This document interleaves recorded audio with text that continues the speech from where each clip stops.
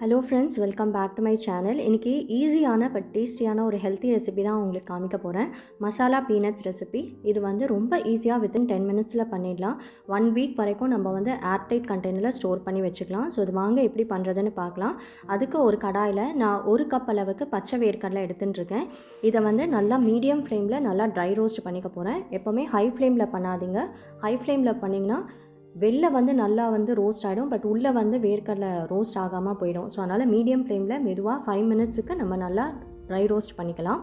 So five minutes கழித்து பார்த்திங்கன்னா இந்த மாதிரி கலர் சேஞ்ச் ஆகும். நல்லா வெடிக்கும். வேர்க்கடலையும் நல்லா வெடிக்க ஆரம்பிக்கும். ஸோ அடுப்பை ஆஃப் பண்ணிவிட்டு நல்லா இதை வந்து நான் ஆற வச்சுக்க போகிறேன் ஸோ நல்லா கொஞ்சம் நேரம் ஆறின பிறகு நான் கையால் இந்த மாதிரி நல்லா அந்த தோல்லாம் வர மாதிரி நல்லா இந்த மாதிரி பிசைஞ்சு விட்டுக்க போகிறேன்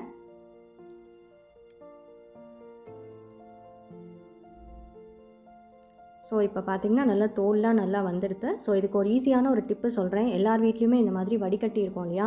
ஸோ அதில் வந்து இந்த நம்ம தோல்லாம் நீக்கின அந்த பீனட்ஸை வந்து நல்லா போட்டுட்டு இந்த மாதிரி பண்ணோன்னா அழகாக வந்து தோல்லாம் வந்து கீழே அந்த டவலில் வந்து வந்துடும் ஸோ கிச்சனும் உங்களுக்கு வந்து மெஸ்ஸி ஆகாது. அதுவும் இல்லாமல் நீட்டாகவும் நம்ம வந்து வேலையை முடிச்சிடலாம் சீக்கிரமாக ஸோ இந்த டிப்பை கண்டிப்பாக ஃபாலோ பண்ணி பாருங்கள் இப்போது கடாயில் நான் வந்து கால் டீஸ்பூன் அளவுக்கு ஆயில் போட்டுக்கிறேன். அதில் நாலஞ்சு கருவேப்பிலையை வந்து நல்லா நான் வந்து ரோஸ்ட் பண்ணி தனியாக எடுத்து வச்சுட்டு போகிறேன்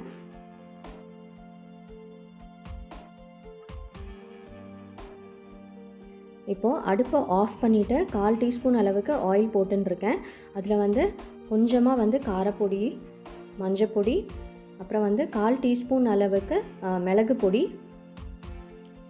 அப்புறமா வந்து கரம் மசாலா பொடி கொஞ்சமாக சாட் மசாலா அப்புறம் இந்த ரெசிபிக்கு தேவையான அளவு உப்பு. இதெல்லாம் வந்து அடுப்பை இப்போ தான் ஆன் பண்ணி நான் எல்லாத்தையும் வந்து நல்லா ரோஸ்ட் பண்ணிக்க போகிறேன் எப்போவுமே அடுப்பு ஆன் பண்ணுறதுக்கு முன்னாடி இந்த ஸ்பைசஸ்லாம் ஆட் பண்ணிக்கோங்க. இல்லைனா ஸ்பைசஸ் கரிஞ்சு போயிடுச்சுன்னா நல்லா இருக்காது.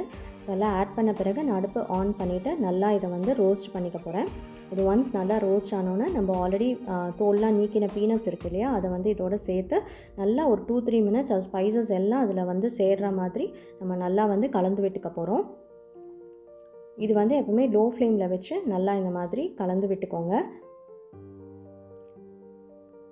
இப்போது நம்ம வந்து கருவேப்பிலையும் வச்சுருந்தோம் இல்லையா? அதையும் வந்து இதோட ஆட் பண்ணிக்கலாம்.